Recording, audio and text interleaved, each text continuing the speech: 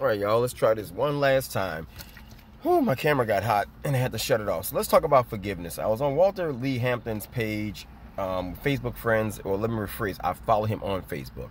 And um, he was doing, he did a video series called the Xavier Files. And Xavier Files, for y'all that's not familiar with it, is uh, he was dating a guy named Xavier who turned out to be HIV positive, and for all intents and purposes, it seemed like um, Xavier kept this a secret and wanted to have unprotected sex with Walter and get him infected with HIV, something something to that effect. Okay, um, Walter Walter discovered he was HIV positive and decided to do a couple of videos about it, and it turned into a big thing. Had the man, you know, call the police on him, had a warrant out for his arrest. So after Amber Guyger was was uh, convicted, Botham Jean's brother gave her a big hug. Black America was mad as was mad as hell about it, and was like, "Why the fuck is he forgiving this lady for killing her brother?" And he made a video saying, I, I think that was a beautiful sign of compassion, love, what have you. And I don't know why black folks are all angry about this woman, you know, being forget being being forgiven. And I asked him in his comment section on Facebook, I said, Walter, do you forgive Xavier for what he tried to do to you? And Walter said uh, something to the effect of, No, I don't forgive Xavier because Xavier knew what he was doing. So I don't forgive him. He said, uh, Amber Guyger, on the other hand, it was just an accident. She walked in the house and shot the wrong person. Xavier, on the other hand, knew what he was trying to do. And another person named Jerome got my comment section said, Ricco, you can't compare the two because she, you know, did made a mistake. But Xavier, on the other hand, he chose to uh, do what he did. And more importantly, he said, um, you know, same thing Walter said that you know Xavier wanted to infect numerous people after after the fact. Xavier would have to show compassion and all this other stuff for Walter to forgive him. Guess what? Walter forgave him. After all of that talk, Walter forgave him. And I'm gonna tell you, and so somebody in my comment section, I'm sorry, in Walter's comment section, got, you know, responded to me and said, Why don't people like you, meaning me? People like you just just just don't just why don't I just just forgive and forget and let all that anger go? And let me tell you something. Anger is the reason all that shit got done in the civil rights era. Anger is all the reasons why you get off your ass and you do something. Okay? Behavior is all a matter of the concept in which that behavior takes place. That's why these holier than thou, forgiving people don't really understand the concept of forgiveness and what it stands for. I even tried to do the research on where forgiveness comes from, and guess what? I can't find out.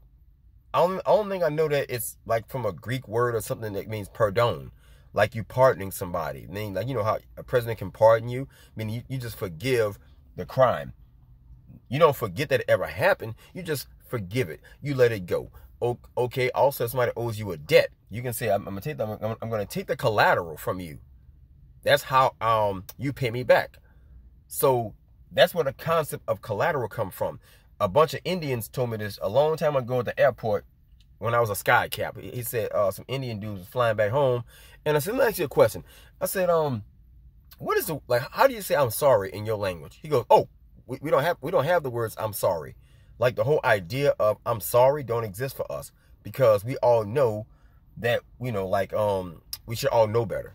So we have to give each other something like gifts, like money and stuff like that. That's how Indian tribes they paid like a uh, like a, like like like a debt. And the mafia kind of did the same thing.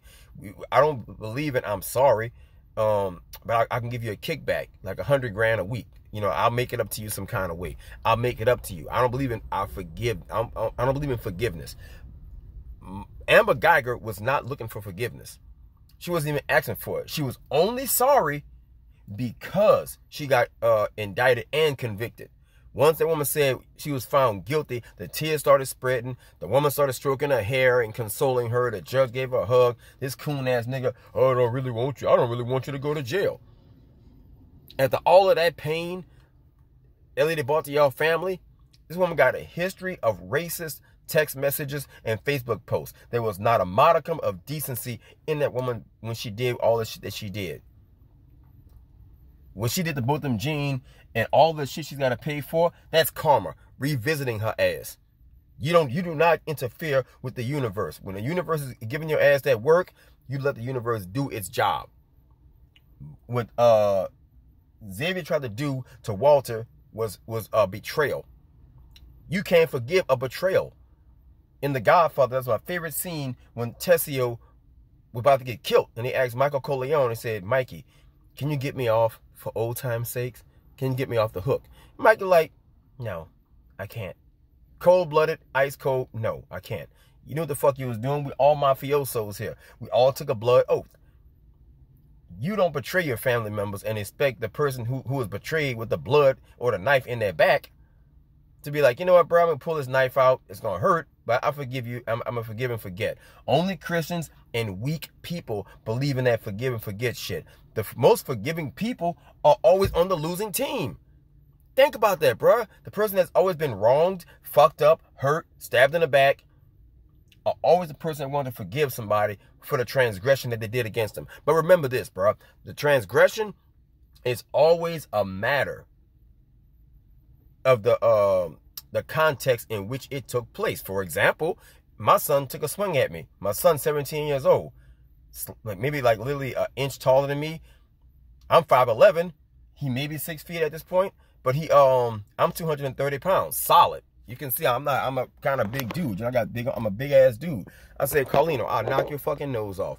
But I realized at that age, that's the age when boys try to challenge their daddy. So that's my son. I love him to death. So I, I forgive him. He didn't ask for forgiveness, but I mean I know he don't fucking know better. So I can forgive that. But he knows when he see my when he see my right arm, he said, you know what, bro? I better back down if I get my ass knocked the fuck out. That's the difference between that. A, a, a, a ass whooping a penalty that you carry out, consistent penalties, all of that shit supersedes forgiveness because it makes you double think fucking up. It makes you double think stepping into the uh, into the path of the wrong person. That's why I love the idea of the warrior class. The warrior class, we don't live on forgiveness. The weak people, the citizens, they live on forgiveness and love and all the other weird shit. Oh, I, I love you. I'm going to forgive you. I'm going to forgive and forget. Let me tell you something.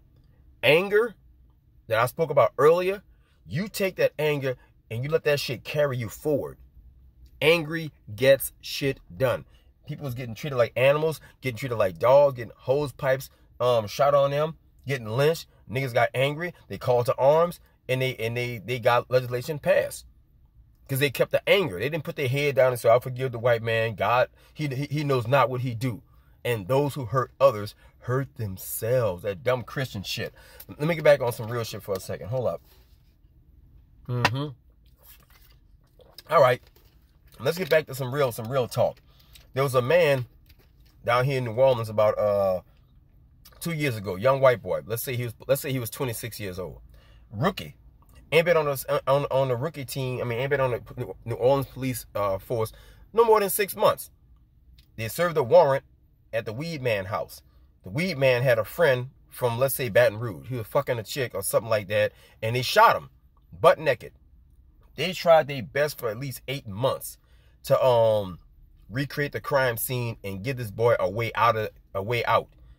When all that failed, him, the DA, all he took a plea deal for like five or eight years for like manslaughter or some kind of lesser charge. You know, it wasn't murder. He said that was an honest mistake. And the little dude was crying his ass off. He said, "Man, I can't believe I did that. I was only on a force for like under six months, bro. And I told the people, I said, you know what? I, I kind of feel sorry for that little dude. The lights was out. It was dark. Why the fuck was a rookie that untrained in a damn house with the SWAT team? What the fuck was that about? Orleans Parish, they, they they they bear some responsibility in that in that particular um context. I do feel sorry for that dude. I don't know about the forgiving part, because he should have knew if I'm un you know I'm untrained. Why am I even there? But more importantly, him and the police team tried their absolute best to recreate the crime scene like on that on on um like Denzel them did on um training day. Okay, to get that boy off. That's what the point I'm making. Another piece of uh, another another context I'm talking about is this old man, also in Orleans Parish, who set this man up and had him arrested and spent like 50 something years in jail. Now he's on his deathbed, and they let him go to go live the rest of life in freedom as an old black Morgan Freeman looking old black dude. the, the DA who set him up, who hid the evidence, was also dying of cancer. He called that man, hey, bro, can you for, forgive me? The black man said, fuck no, bitch, we both about to die. Forgive you for what? My life is done. I ain't forgiving you, bro. Like you can, go to fucking hell in peace. Out your damn mind. I got my fucking kids are damn near about to die themselves. That's the warrior class, but you don't forgive people like that. You take the anger and you set it down and you walk the fuck away. You leave that experience where it was at. You learn from it, but you leave that experience where it's at. You don't go find the transgressor and say, you know what, bro, even though you ain't looking for forgiveness, I'm gonna let you go. I forgive it. Indians don't do that dumb shit. Another thing was Philando Castile mama said, fuck no, I ain't forgiving your ass for that, bro. Geronimo, whatever the fuck that dude name who killed um uh Philando Castile. Shot that fucking dude. Man had a, a, a licensed gun carrying permit and everything. Same thing with uh I think Eric Eric Garner's mama was saying hell to the no. Pantaleo, that racist motherfucker, put that man in the chokehold. The man said, I can't breathe. They sitting there wearing shirts, police wearing shirts that says, I can breathe. Insult and injury. You don't forgive the police, bro. They fucking know what their job is. They trained officers, okay? Seasoned. The reason why I kind of felt sorry for the little dude who killed that man in New Orleans, he was only on the force for six for six um six months. That piece of shit, Amber Guyger, had a history at least two years back talking about racist shit during the Martin Luther King parade. She could have turned that job down. Her and her married boyfriend. Hit like, share, and subscribe. It's hot as fuck in this truck, man. I'm out of here.